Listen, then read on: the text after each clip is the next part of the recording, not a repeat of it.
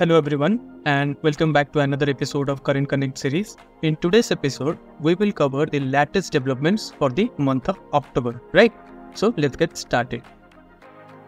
First, there is an important current affairs topic which is Scheduled Tribes and Other Traditional Forest Dwellers Act of 2006 which has recently made headlines, right?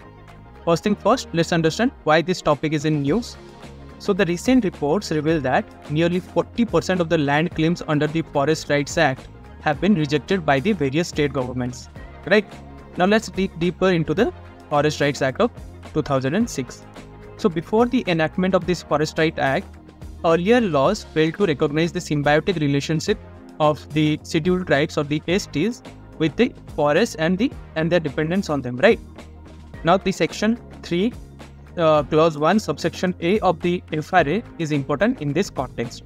It recognizes the rights of forest dwelling tribal communities or FDSTs and other traditional forest dwellers or OTFDs to hold and live in forest uh, land for uh, habitation, habitation and for self cultivation or li- livelihood purposes. Right. The Act also grants two types of rights.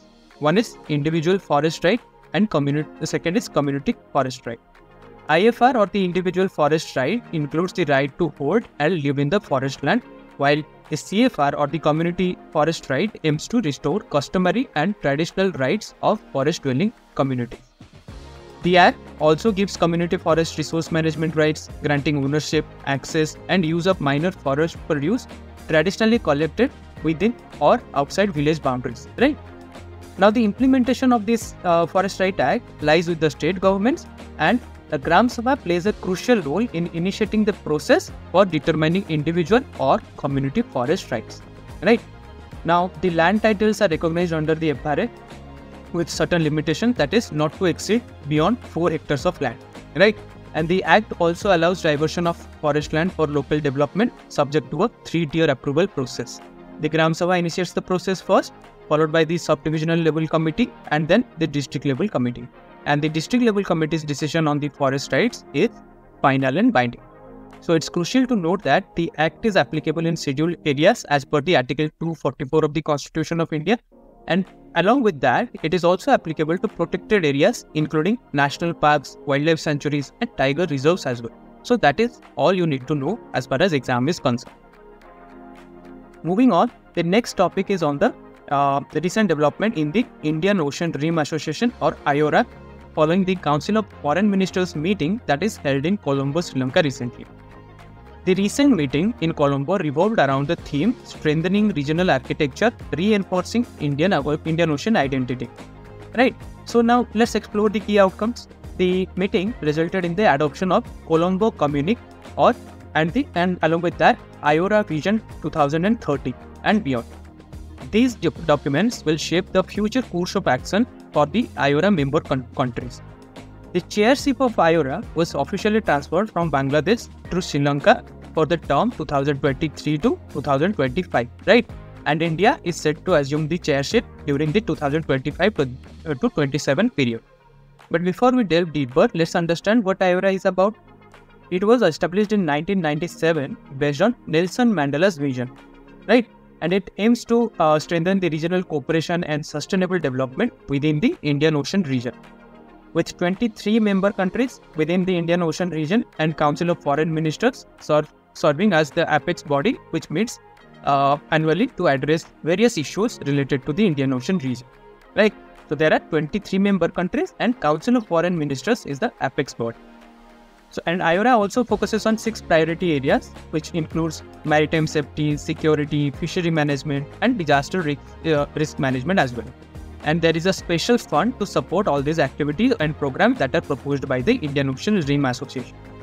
And the Indian Ocean Rim Association comprises uh, one third of world's population, handles 80% of global oil trade, and produces ap- approximately 1 trillion USD in goods and services. And also, the intra IORA trade of uh, around 800 billion dollar is there. And for India, the Indian Ocean Rim Association provides a crucial avenue to manage big power rivalries, that is China, uh, as well as keeping it, uh, the Indian Ocean region stable, isn't it? And most importantly, since Pakistan is not a member of IORA, it serves as a less contentious space, space for regional cooperation for India. Right? Now next on, next moving on to the topic on recently released Global Hunger Index for 2023, which has brought some concerning revelations, especially for India. Now, what is Global Hunger Index? So it's an annual report crafted by the Irish NGO Concern Worldwide and German NGO Welthunger Hilfe.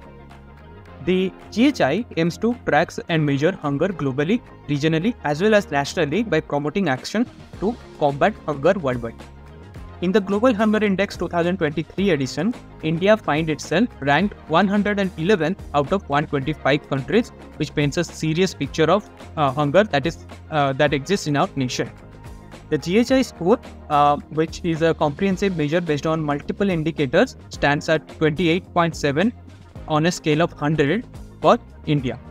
Now, the GHI score is derived from our four critical indicators. You need to remember this undernourishment, child stunting, child wasting, and child mortality. And interestingly, India's progress in combating hunger, hunger unfortunately plateaued since 2015. And the report also brings attention to the South Asia and Africa to the south of Sahara by identifying them as the uh, uh, regions with highest level of hunger. Right? So you need to remember who publishes the GHI, what are the indicators, and what is India's rank in the index as far as your exam is concerned. Now, the next topic is on the legendary agricultural scientist M.S. Swaminathan, who recently passed away. So, as a plant uh, geneticist, uh, geneticist uh, he played a crucial role in shaping India's agricultural landscape, isn't it? So, let's dive, uh, dive into his extraordinary life and his contributions. He is recognized as the farmer's scientist and he received the first World Food Prize in 1987 for his leadership in India's Green Revolution. Additionally, he was honored with Padma Vibhushan, the Ramon Magsaysay Award, and several other national and international honors. Swaminathan's genetic research focused on developing high yielding and pest resistant crop varieties, which revolutionized the Indian rice and wheat production. And notably, the achievements include the development of rice varieties like ADT 27, Rasi, and the Pusa Basmati, along with wheat varieties like Sonalika and Kalyan Sona. Swaminathan also developed a frost-resistant potato uh, variety called Alaska Frostless, which uh, uh, he also further championed the participatory breeding, which uh, empowered the farmers to develop locally adapted crop varieties as well, right? And he was described as the father of economic ecology by United Nations Environment Program.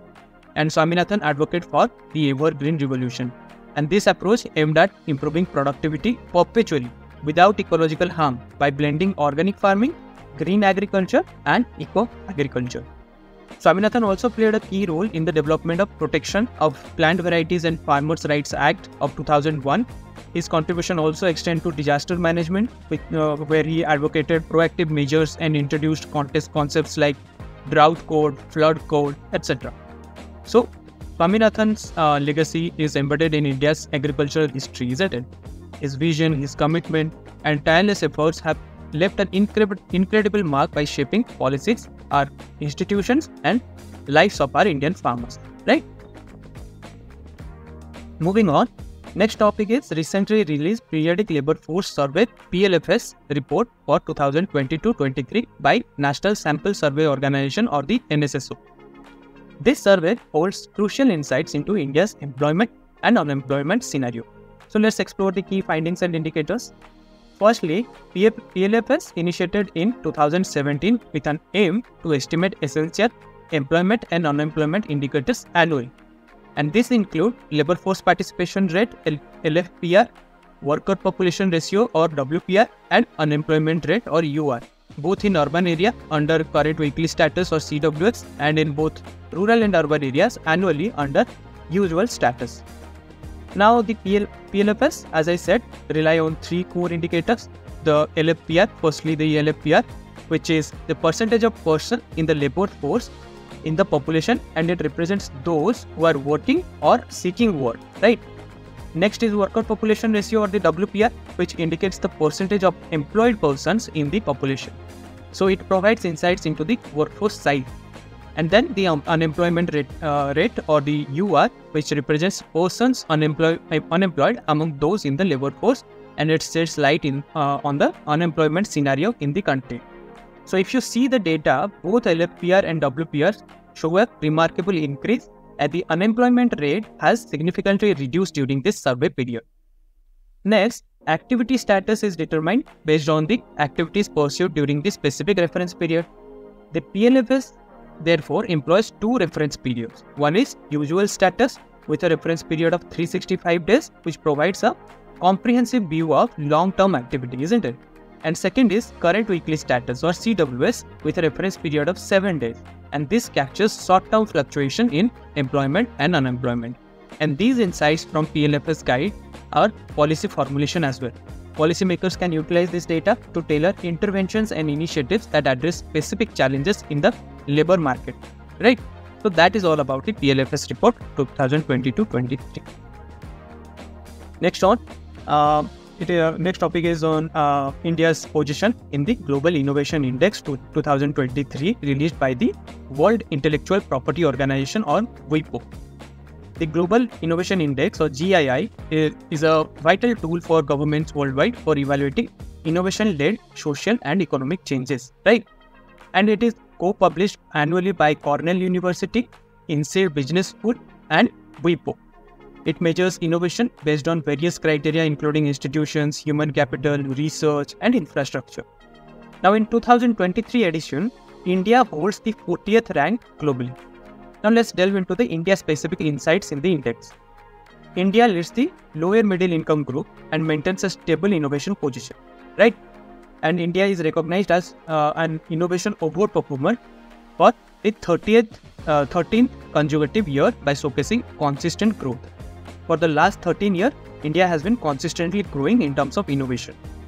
Notably, India has surpassed the UK and Germany in publication output, ranking 4th in 2022. And and four of our Indian technology clusters that are Bangalore, uh, Delhi, Chennai, and Mumbai are among the top 100 clusters globally. So India's ranking in the GII has broader implication for the country's economic and social development, isn't it? and the insights provided, uh, provided can also guide strategic decisions to foster more innovation driven environment in the country right and the GII uses a comprehensive set of criteria as i mentioned to measure the innovation so which encompasses institutions human capital research infrastructure credit investment linkages knowledge creation absorption diffusion and creative outputs and for your information, Switzerland retains its position as the leader in the GII for the 30th 13th consecutive year. And the report also highlights strong technological progress and adoption of innovation like electric vehicles and automation on a global scale. Right? So that is all about the Global Innovation Index of 2023.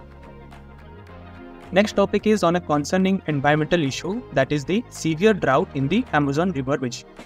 So the lake Puraquequara, uh, which is in the Amazon river, uh, river basin, is facing an unprecedented crisis as it dries up. This left the floating villages on it uh, uh, on it now stranded on mud flats. Right. So the floating villages that were once on the lake are now residing on a mud flat because of the drying of the clay. And now this alarming situation is indicative of a larger issue that is affecting the entire Amazon region. Right. So the severe drought in the Amazon Amazon uh, region is actually attributed to multiple factors, including El Nino and the warming of the northern tropical Atlantic Ocean, right? And additionally, these climatic phenomena are further enhanced by global warming and continued burning of fossil fuels. As you may know, the Amazon River Basin is the largest drainage basin globally, which covers about 34% of the South Africa South American landmass, and this uh, uh, vast expanse also contains approximately 60% of the world's rainforest, for which it is often referred to as the lungs of the earth, right?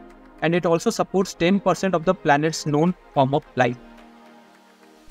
It, uh, uh, the Amazon uh, basin actually spans across multiple countries, including Brazil, Bolivia, Colombia, Ecuador, Guyana, Peru, Suriname, and Venezuela.